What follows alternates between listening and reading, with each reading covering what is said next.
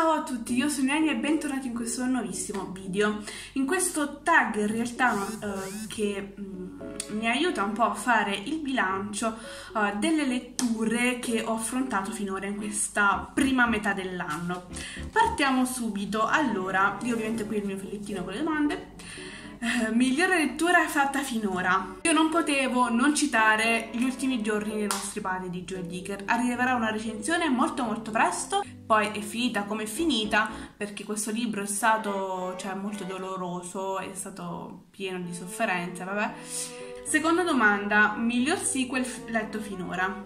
Per rispondere a questa domanda ho scelto il terzo volume del Trono di Spade di George Martin, nonostante in questo volume succeda una cosa che mi ha colpito nel profondo, ovviamente non lo dico perché magari qualcuno non ci è ancora arrivato, nonostante sia il terzo è comunque un sequel, quindi questo è il migliore che abbia mai letto quest'anno. Terza domanda, nuova lettura che vorresti leggere quest'anno? Allora io ovviamente la trilogia di Akotar di Sarah J. Maas, in Italia sono usciti solo i primi due, Akotar e Akomov, io ovviamente li aspetto in italiano perché non ho un livello uh, alto di inglese, quindi preferisco leggere in italiano, almeno i fantasy. Quarta domanda, uscita più attesa del 2019, ovviamente la trilogia di Nevernight di J. Christophe. Io ne sento parlare benissimo sul web e io non posso non lasciarmela scappare, quindi aspetteremo settembre, aspetterò con molta ansia io ovviamente settembre. Io ovviamente devo leggere per forza perché devo capire eh, tutto questo entusiasmo che c'è in giro su internet perché veramente c'è tantissimo entusiasmo per questa trilogia. Quinta domanda, delusione più grande di quest'anno? Purtroppo è stata Origine di Dan Brown. Io ho insistito a volerlo comprare, a volerlo reggere. Ovviamente sapevo già che non era all'altezza dei precedenti di Dan Brown, quindi ho detto vabbè, io comunque vorrei leggerlo perché eh, voglio concludere, diciamo, il ciclo di Robert Langdon e, e quindi lo volevo leggere comunque, però è stata comunque una delusione, anche se mi aspettavo ciò. Stessa domanda, sorpresa invece più grande di quest'anno. E ovviamente rispondo con La donna dei fiori di carta di Donato Carrisi. Sento parlare sempre bene di Carrisi, però mh, mm, su questo libro avevo delle aspettative molto molto basse, non so perché, però ho voluto comunque provare e in realtà sono sorpresa perché, appunto, ripeto, avevo delle aspettative molto basse, ma in realtà si è arrivato tutt'altra cosa è davvero stata una grandissima sorpresa per me. Settima domanda, autore preferito, che sia emergente o non, che sia nuovo oppure no. Ovviamente io scelgo sempre Pier Giorgio Pulisci, ovviamente farò un video su, su Pier Giorgio Pulisci anche perché è uscito il nuovo uh, romanzo suo no? da poco e l'ho già letto in realtà, ci ho messo tipo 4 giorni, però vabbè questo è un discorso a parte. E um, voglio fare un video su, su Pier Giorgio perché se lo merita. Ottava domanda, crush. La mia crush di quest'anno è stato Paul Emile di negli ultimi giorni i nostri padri di Joel Dicker, io mi sono letteralmente innamorata di lui. Nona domanda, personaggio preferito di questa metà anno? Ho scelto Iris del matrimonio delle bugie di Kimberly Bell.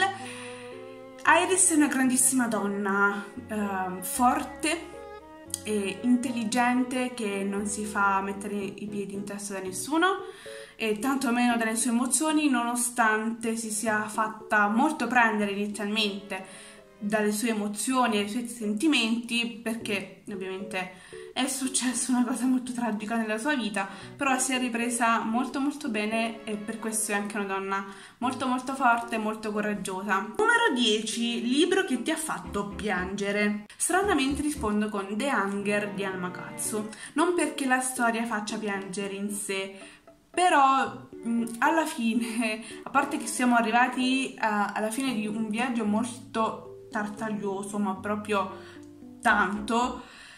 Leggere la fine mi ha fatto emozionare. Spiego tutte le recensioni che ho già fatto, vi elenco um, su nelle schede uh, la recensione video che ho fatto. Vabbè, cioè, dopo tutto questo casino sono contenta che sia finito in questo modo.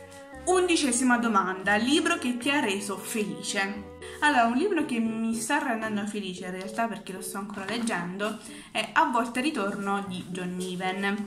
Farò una recensione appena finirò anche perché sarà molto breve per, perché questo libro è molto semplice e anche molto molto divertente quindi lo leggerò velocemente quindi, cioè io veramente scoppio a ridere scoppio a ridere spesso e volentieri leggendo questo libro però ci sono ovviamente anche delle cose serie che si trattano in questo libro e ovviamente sì, Gesù c'entra, e anche Dio e tutti i santi.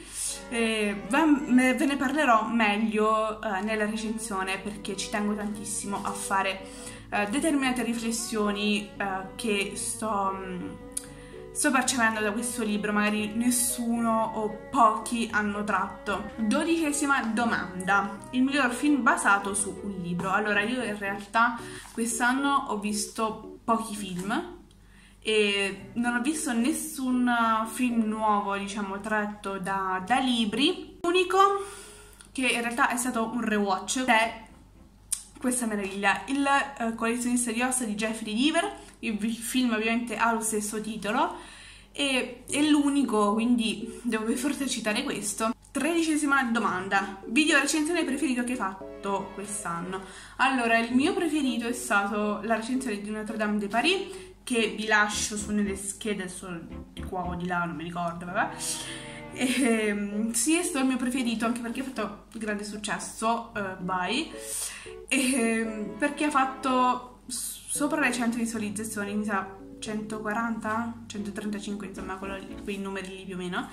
Ed è stato uno dei video più visti del mio canale. Io sono molto molto contenta anche perché ci tengo molto a quel libro e a quel video 14 miglior libro comprato o regalato. Allora il migliore ovviamente nel senso di bello credo di aver capito così. Ovviamente io rispondo con Il Signore degli Anelli il primo libro in inglese questo, bellissimo, io voglio anche tutte le altre edizioni di questo libro, compreso l'Hobbit ovviamente, perché sono tipo bellissime, anche perché costano tipo poco, quindi io ho pagato tipo 12 euro. Quindi. 15, libro che devi leggere entro l'anno, ovviamente io ripeto la trilogia di Nevernight e la trilogia di Akotar, che ovviamente le leggerò in italiano. Devo leggere anche Il Sognatore, e poi il seguito La musa degli incubi perché ne sento parlare veramente bene. Bene, questo video finisce qui, spero vi sia piaciuto, in tal caso lasciate un like, iscrivetevi al canale se ancora l'avete fatto e attivate la campanellina per non perdere nessun altro video e noi ci vediamo alla prossima. Ciao!